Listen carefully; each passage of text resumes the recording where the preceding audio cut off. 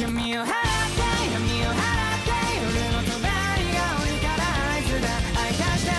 Hola, soy Bash. Y hola amigos, bienvenidos una vez más a nuestro canal. Y bueno, el día de hoy, como ya es costumbre en el canal, les traigo un nuevo preguntas y respuestas de Jujutsu Kaisen. Así es, en esta ocasión tenemos preguntas realmente interesantes que estaremos respondiendo a lo largo de este video. Así que sin nada más por añadir, comencemos una vez. Y bueno, comenzamos con la pregunta de Joaquín que nos dice Hola Pokedra, mis preguntas son Número 1, ¿crees que Yuta pueda tener los poderes de Gojo si Rika come una parte de su cuerpo? Y bueno, la verdad es que esta pregunta es interesante. Hasta el momento no sabemos si Yuta puede copiar el infinito, ya que vendría a ser una técnica heredada del clan Gojo y además siendo una de las más poderosas, por lo que no sabemos si tenga alguna restricción al respecto. De cualquier forma, Yuta ya copió otra técnica heredada, la cual es el discurso maldito de Inumaki, por lo que técnicamente, conforme a lo que sabemos, Yuta sí tendría que ser capaz de copiar el infinito. El único problema es que el infinito libera su verdadero potencial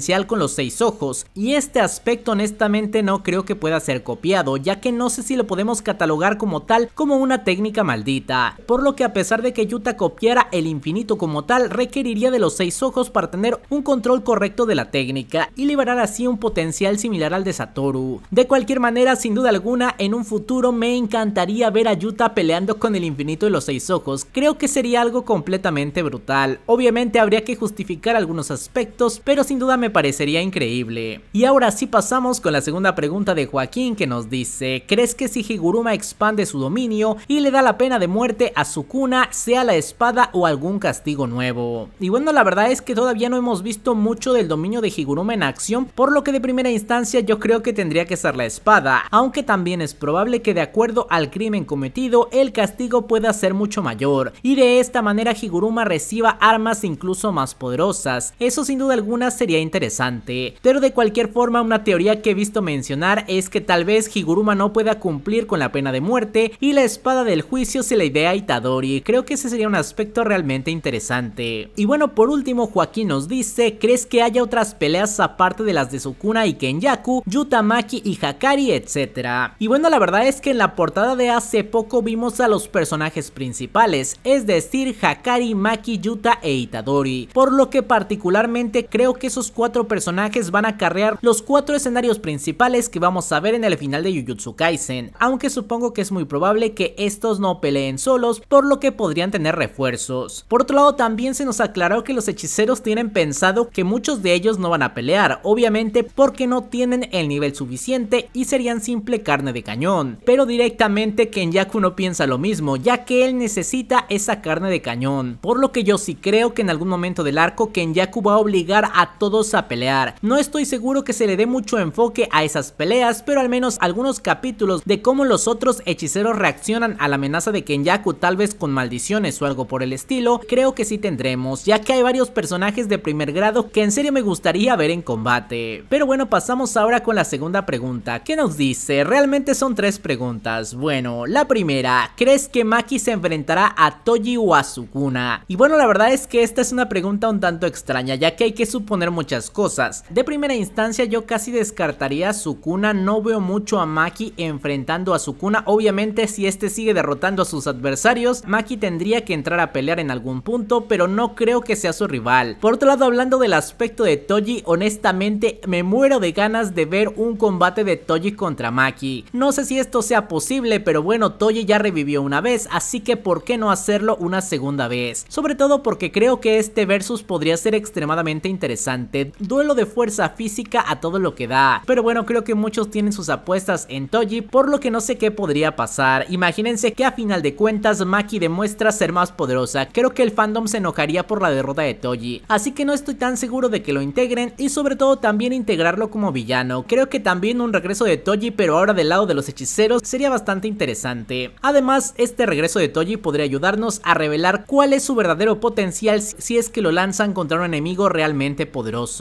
Pero bueno, siguiendo con las preguntas, nos dice, ¿crees que Takaba venza a Kenyaku? Por supuesto que no, este es el resultado menos probable de este combate. Sin duda alguna, yo veo que las posibilidades de que Takaba venza a Kenyaku son prácticamente nulas. Puede ser que nos sorprenda de alguna manera y lo logre nerfear o lo ponga contra las cuerdas, pero a final de cuentas Kenyaku y el guion lo van a salvar. Sin duda alguna, Kenyaku no va a ser derrotado por un personaje secundario. A pesar de que sí vimos el pasado de Takaba, creo que esto no es posible. Literalmente veo mucho más probable la teoría del cambio de bando de Takaba y hacerse compañero de Kenyaku a que Takaba pueda vencerlo. Y por último, la tercera pregunta nos dice, ¿podría Yuta hacerle un poco de pelea a Sukuna? Pues claro que sí, básicamente él es el que sigue en nivel de poder tal vez equiparable a Kenyaku. Pero bueno, si te refieres al Sukuna original, la verdad es que la batalla estaría extremadamente complicada. Creo que Yuta es de los que más podría soportar, sobre todo después de ver a Satoru Gojo pelear. Creo que él va a sacar muchísimas referencias de esa pelea y aprender técnicas, por lo que para este punto de la historia Yuta sí podría hacer mucho más cosas. Además, en este momento, con un Sukuna sin dominio, yo creo que incluso Yuta podría derrotarlo. Obviamente debido a que Yuta se está guardando para Kenyaku, eso pienso, es que no lo mandaron con Sukuna, pero sin duda alguna creo que Yuta sí podría ganar. A menos de que Sukuna ya pueda liberar su dominio, es como ahí si las cosas estarían realmente complicadas. Pero bueno, pasamos con la tercera pregunta de Cristóbal Taiba que nos dice, hola dioses esperando que estén bien, tengo dos preguntas. Número 1, ¿qué pasaría si Takaba se vuelve aliado de Kenyaku? Yo lo vería como el peor resultado posible y de ser así, ¿quién podría enfrentarlo? Como ya mencioné hace un momento, yo creo que Maki podría ser una opción debido a que ella todavía no tiene un rival establecido, es decir, a menos de que apoye a Yuta en su batalla con Kenyaku, directamente no se le ha presentado un enemigo, por lo que tal vez Takaba podría ser una opción. Obviamente creo que Maki no tiene mucha afinidad a la hora de pelear contra Takaba, pero bueno, cuando se nos explique mucho más sobre la técnica maldita de Takaba, tal vez Maki a final de cuentas sí puede hacer un buen counter. Aunque también Ángel podría ser una opción, obviamente se dijo que ya no iba a salir a pelear, pero fue su idea el mandar a Takaba, así que tendría que hacerse responsable de sus decisiones. Y bueno, pasando con la segunda pregunta de Cristóbal nos dice, ¿cómo crees que sea el ser que creará Kenyaku con la asimilación? ¿Será con o sin inteligencia, débil o fuerte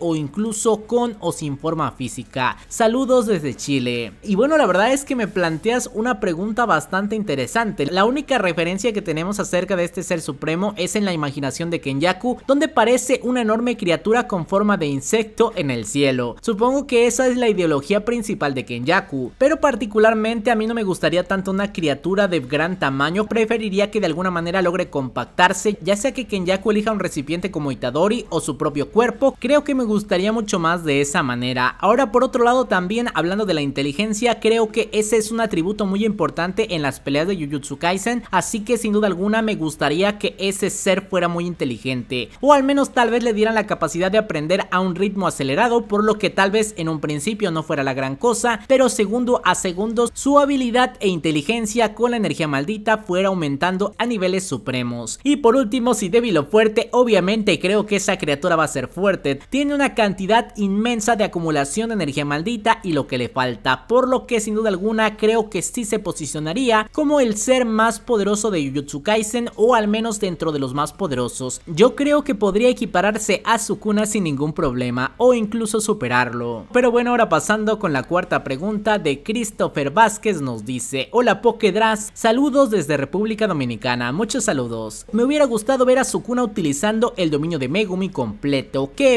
crees que tendría? Yo diría que es como el de Dagon, con golpe seguro de los Chikigamis. Y bueno, la verdad es que esta pregunta ya me la habían hecho antes, pero directamente leyendo algunos comentarios, creo que entendí algo sobre los dominios combinados, aunque no estoy muy seguro si será cierto, ya que una de las dudas más grandes que siempre tuve fue el dominio de Kenyaku, debido a que prácticamente podemos confirmar que el dominio que utilizó contra Yuki es su dominio propio, es decir, el de los úteros malditos, pero la técnica que utiliza para el golpe seguro es la técnica de antigravedad de la madre de Itadori, por lo que básicamente en ese punto está combinando su dominio con otra técnica, es decir, por lo que entiendo, el dominio podría ser particular de cada ser, tal y como se nos había establecido, pero cuando tienes más de una técnica maldita puedes utilizar el golpe seguro para cualquiera de esas técnicas, es decir, en el caso de Kenyaku, él podría utilizar también el golpe seguro, tal vez con las maldiciones de Geto, como vimos con la gravedad, e incluso con su propia técnica original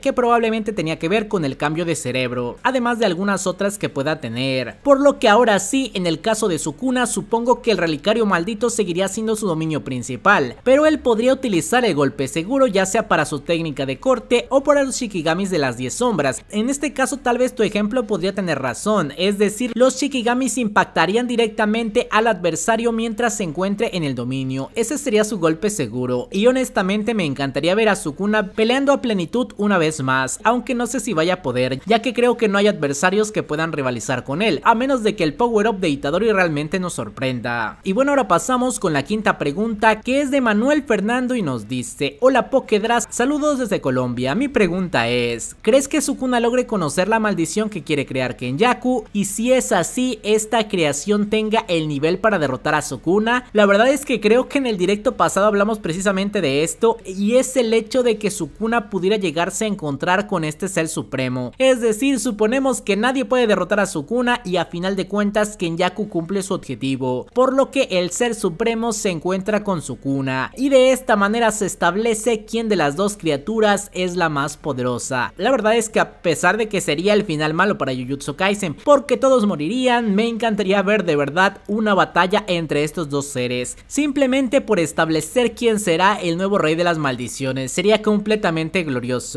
Imagínense ese final, tal vez con el ser supremo con la cabeza de Sukuna estableciendo el comienzo de la nueva era. Sin duda alguna podría ser tremendo. Pero bueno, continuamos con la sexta pregunta de El Carrera que nos dice, Itadori podría heredar la técnica de manipulación de sangre ya que en la portada a color se puede notar el puño rojo como el puño de sangre de Shoso en Shibuya, saludos. Y bueno, la verdad es que vi esta teoría y sin duda alguna hay grandes posibilidades. De hecho ya habíamos mencionado algo al respecto, aunque no directamente con la técnica de sangre. Y es que en alguno de los capítulos anteriores se intuye que a final de cuentas Itadori comió el resto de úteros malditos siendo sus propios hermanos, ya que a final de cuentas Shoso le dice que sus hermanos vivirán dentro de él. Pero hay que recordar que prácticamente todos los úteros malditos, a excepción de Itadori, tenían la técnica de manipulación de sangre. Esto porque fueron creados por el mismísimo Noritoshi Kamo que tenía esta técnica. Así que creo que sí habría grandes posibilidades de que Itadori herede la técnica debido a haber consumido a sus hermanos. Y bueno, también algo que me habían comentado es que el clan Noritoshi también debería tener una técnica con mucho potencial, siendo que se nos ha comentado que la técnica de manipulación de sangre es la más poderosa del clan, sin duda alguna este tiene que tener algún potencial oculto, ya que por ejemplo en el clan Gojo tenemos al infinito y en el clan Zenin tenemos las 10 sombras, por lo que si la contraparte del clan Kamo es la manipulación de sangre, yo creo que sin duda alguna esta técnica debería tener un potencial también muy grande. Tal vez esta técnica tenga un problema similar al del infinito, y es que no puede sacar su máximo potencial con cualquier usuario, por lo que se requiere algo para complementarla como serían los 6 ojos, y ese algo tal vez Itadori pueda darlo. Creo que esa posibilidad sería muy interesante. Honestamente en este punto no se me ocurre cuál podría ser el máximo potencial de la manipulación de sangre, pero creo que una de las grandes restricciones de esta técnica es que solo puede manipular su propia sangre. Creo que sería interesante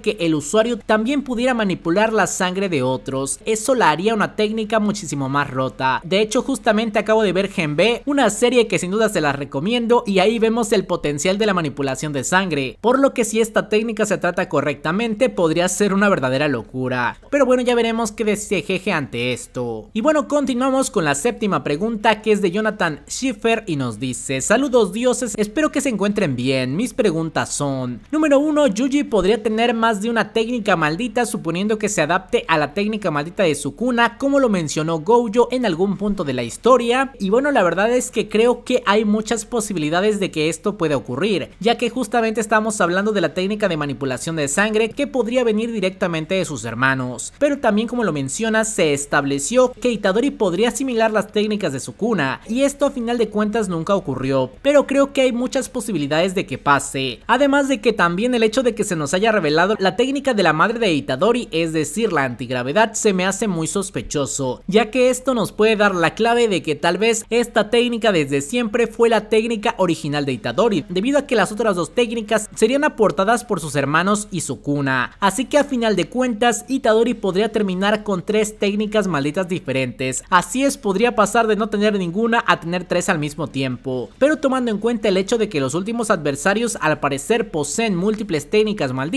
como sería Sukuna, Kenyaku y Yuta, creo que lo justo es que Itadori también pueda tener más de una técnica. No lo sé, tal vez sería un power up bastante loco, pero posibilidades sí que hay. Y ahora pasamos con la segunda pregunta de Jonathan que nos dice, ¿quién será el próximo apoyo en entrar al combate con Sukuna si Higuruma cae en combate? ¿O este con Itadori serán un dúo fijo para derrotar a Sukuna o debilitarlo? Y bueno, particularmente yo creo que Higuruma sí va a morir, aunque probablemente le deje un nerfeo a Sukuna. Por otro lado, hablando de posibles refuerzos para Itadori, creo que uno de los más claros sería Shoso. Sin duda alguna, al ver que Itadori se encuentra en peligro, creo que Shoso saltaría al combate. Ese sería un refuerzo casi confirmado. Por otro lado, yéndonos con personajes que ni siquiera hemos visto, pero que tengo fe, podría ser el mismísimo Aoi Toudo, que también es uno de los hermanos. Imagínense que a final los refuerzos de Itadori son Toudo y Shoso. Los tres hermanos se reúnen, incluso podría ser que Toudo y Shoso declaren que entre ellos también son hermanos, al ser hermanos de Itadori. En serio me encantaría ver a este grupo peleando contra Sukuna. Y bueno, por último, aunque es porque sigo teniendo fe hasta el último segundo, es la reaparición de Novara. Creo que para tener esperanza sobre el regreso de Megumi, Novara podría ser una clave muy importante, así que sí creo que Novara podría ser una opción de refuerzo, aunque ella rompería un poco lo del club de los hermanos. Pero bueno, ahora sí pasamos con la última pregunta que es de Jaymat y nos dice Hola dioses, un saludo, espero se encuentren bien,